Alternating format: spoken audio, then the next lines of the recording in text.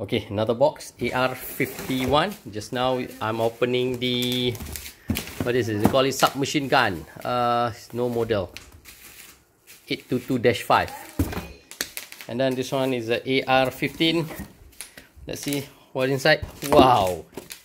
Wow, this is, this looks like, um, This one black. this looks not original, looks like not a real gun.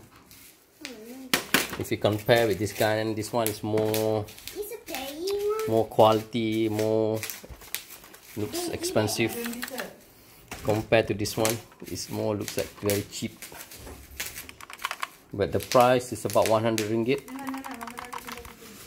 Um, but I think I most prefer the looks. I most prefer the another one.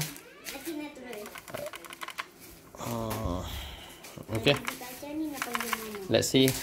Let me assemble it.